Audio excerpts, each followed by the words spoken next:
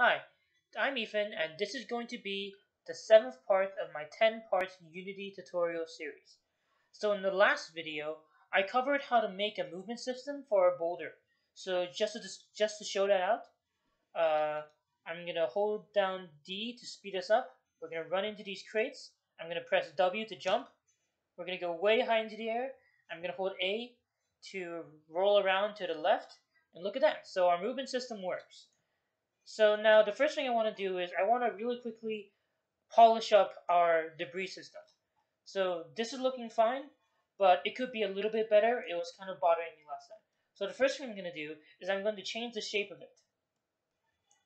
So the shape of our cone, no, sorry, the shape of our particle system is going to determine the range in the the angle at which the particles are going to be dispersed. So Right now it's in cone, which means it's going to spawn along this sort of flat line and then it's going to go up and then due to gravity it's going to fall down. So that's fine, but I would rather it be a sphere. So a sphere means that the particles are going to be spread all around it. So if we look at this, man, that's looking much better. And I'm also going to slightly decrease the size of these particles.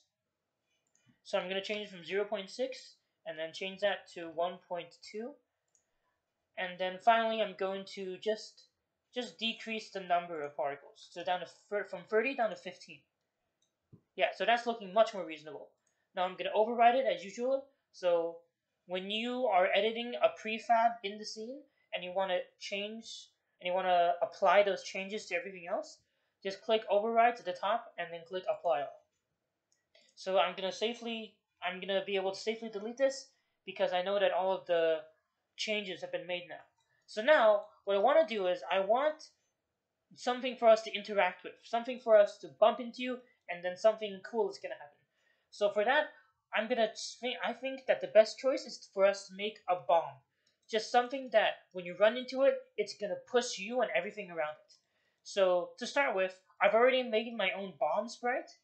I made this in Google Slides, now, right now it's in sprite lit default. I can change this to sprite unlit default, and it's going to look fine.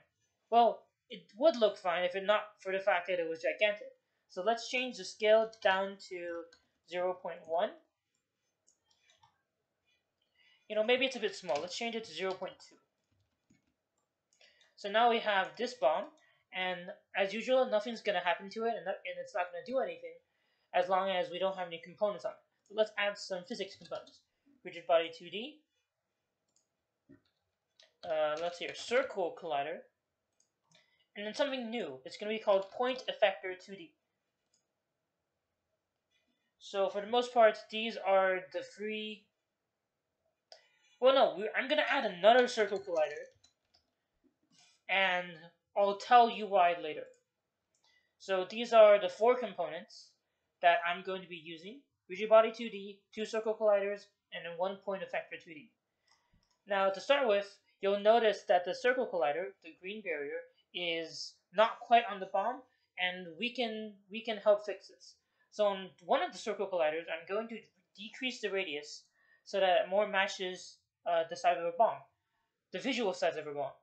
And I'm going to change the offset so that it's more on the bomb. Yeah, there we go. So now I'm going to increase a little bit and yeah, that's fine.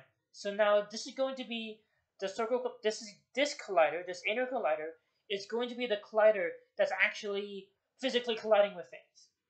And then there's going to be another collider, which is going to be the second collider, which is actually going to be the explosion radius of our bomb. So to make it actually work as our explosion radius, I'm going to check these two boxes. Is trigger going to make sure that this collider isn't actually causing anything to get blocked by it, and used by a effector is going to enable this other collider, this bigger collider, to be used by a point effector. And what a point effector does is it's basically a sort of force push.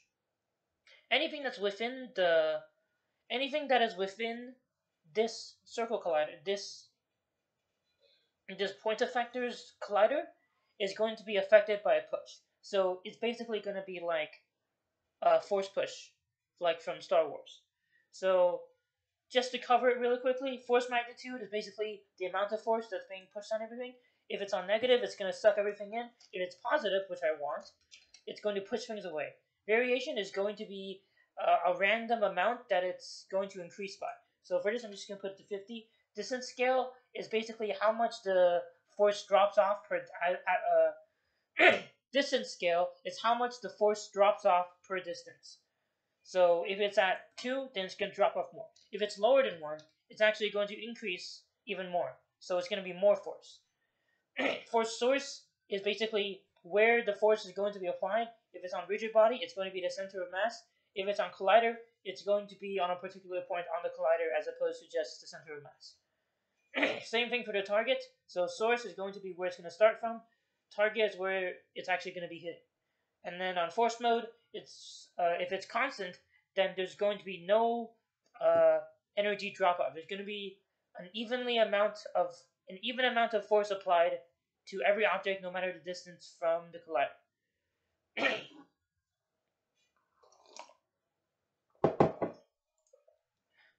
now, for a realistic explosion, let's change this to inverse linear. Cool. So now we want to uh, increase the size of our circle collider, our outer circle collider, which is going to be our explosion radius. So let's change this to 12 for a good measure. Yeah, that's good. now, we, we want our bomb to actually function.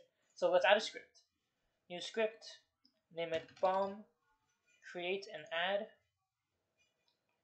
It's going to create a new bomb right, with a new script right here. Double click it to enter Visual Studio. and now we're going to want to really start working. So here, let's just make some variables real quick. Point effector 2D, uh, explosion component. So this is just declaring that this this variable is going to store our point effector 2D uh, component. You know, explosion component equals to get component point effector 2D. Cool. And then now what we want is, we also want a reference to our circle collider. So circle collider 2D, circle collider. And then we also want to serialize some fields. Let's see, serialize field, private, private float, add torque amount in degrees. So that's a lot of things that just happened. This is going to store a circle collider component. This is going to store, this is going to be a field in the inspector that we can edit. This is basically going to give everything in the explosion radius a spin. So we don't want everything to just have absolutely no spin. You can imagine a car being flung away, but it's still completely upright, like the wheels are still pointing towards the ground. So that would look really weird and unna un unnatural. So let's see here. So we just want to assign all of our components. Circle Collider is get components, Circle Collider 2D. So this, all of this is just so we can reference our component easily. And then at the, at first we want our explosion component to be false because we don't want our bomb to go off immediately. So I'll comment that just for clarity.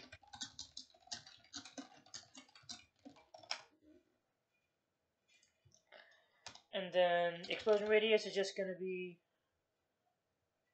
Did I make that a variable yet? No. Sorry. Uh, let's see. Private float explosion radius is just going to be our circle collider. Is going to be equal to our circle collider dot radius. And let's serialize this field so we can specify which circle collider we want. So now we want our bomb to detonate whenever it hits our boulder. So let's do that. I'm going to control S to save. Let's see, avoid on collision enter 2D. So again, this is going to be a method that checks, that runs every time our bomb hits something or something hits it. So we wanted to check if are if what it just hit has a tag of boulder, then we want it to detonate the bomb. And the way we want it to detonate the bomb is first off, we want to enable our explosion component. So this is going to be true. And then secondly, we're going to make a for each statement. Actually, no, we're not going to make a for each statement. That's that's kind of bad. We would usually almost always want to make a regular for statement instead. So let's see here. The collider 2D. Let's make an array. An array is a list of things. Equals physics 2D overlap overlap circle all trans transform dot position explosion radius. Alright, so this is a lot to take in. This is going to make an array of, of 2D colliders, and it's going to be called colliders. It's going to be, it's going to consist of things within a circle, and this circle is going to be at the bomb's current position, and the radius of the circle is going to be the same radius as our circle collider 2D on the bomb. And now we want to make a for statement. For int i equals 0, i less than colliders dot length i plus plus. So this is a for statement. It's going to be, so i is going to start at 0 as long as i is less than the length of our list, our colliders list, i is going to increase by 1, so it's going to iterate this over and over until it's gone through every single uh, element in the array. Now, rigid body 2D, we're just going to call this rigid equals to colliders i. so it's going to grab the element in array. Uh, get component rigid body So the reason we're doing this is because we want to be able to access uh, the the object that is being affected by the explosion. we want to access their rigid body 2D so that we can add some torque to it, some spin. So add torque, add torque amount in degrees, times math f dot degrees to radians, uh, let's see, times the rigid body's inertia. So this is just some physics stuff, but basically this is going to be an amount, a torque amount that we're going to put in the inspector, so that's why we don't have anything assigned to it yet. And we're going to multiply it by, uh, we're going to do some math to it that's going to turn it into radians, since that's what this wants to take in. To multiply by the inertia.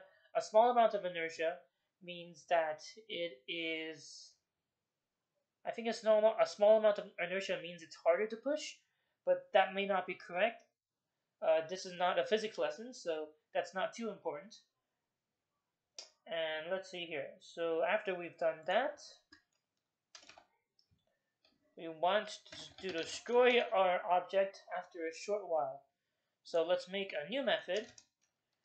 Let's see here, void destroy bomb object which is just going to destroy this object.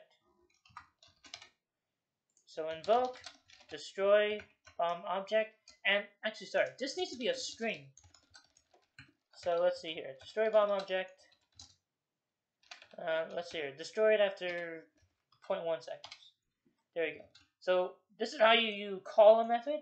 You can call a method by just typing invoke, typing its name into a string literal, and then uh, putting some amount of time to invoke it afterwards. So it's going to call this function after 0.1 seconds. And I put the f here because it needs to be, it just needs to be that way uh, to cast into a float. So let's see here. We've done pretty much everything we need to do. Yeah, so when our bomb hits something, check if it's a boulder. If it is a boulder, enable our explosion component, and then get a list of everything in the explosion, and then for every single thing in the explosion, add some amount of torque to it. and then destroy our bomb. Perfect.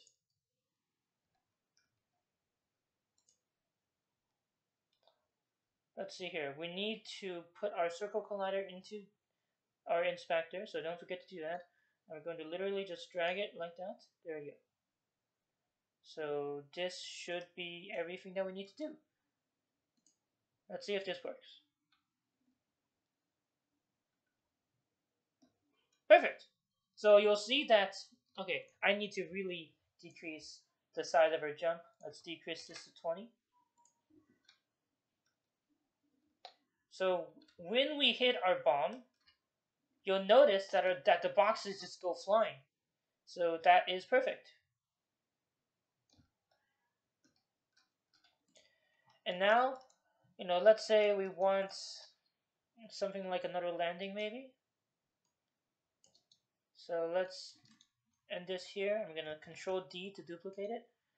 Uh, let's see here, rotate. And then do that. And then let's see, select that, control D. Just like that.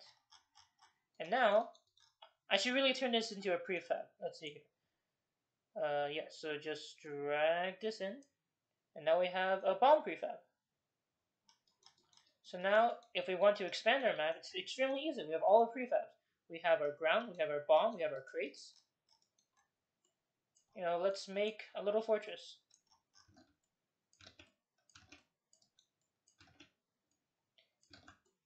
In Unity, they, ha they have these things called joints, and I don't really like using them because they're very glitchy and hard to use, but they're effective in a pinch.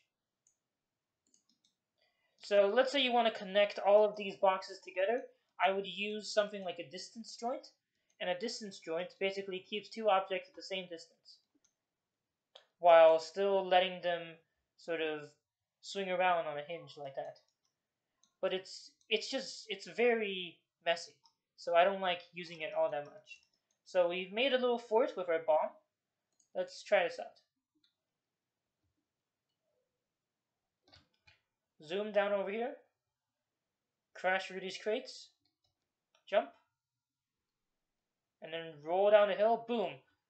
We've absolutely demolished that fort. And let's fall off the map as usual. So we've just made a bomb that we can run into. So that's an interactable. And now we can really expand in our game. We can make bigger bombs. All we have to do is you know, drag this out. You can take this force magnitude, increase it to, I don't know, 10,000 instead. If you, were, if you really want to do that. But let's see here. You know, this could be fun. Or this could be really devastating. Really hope it doesn't crash the game. Boom. Wow, really pushes all the way back up the hill. Yeah, so now that we have the basis of our bomb, we can create even more interactables that do different things and affect the player and the environment in different ways. So this is really the great thing about game development, which is that once you have everything in place, the rest of the process is just having fun and designing something interesting for you and others to play. So that's about it for this video. Uh, thanks for watching.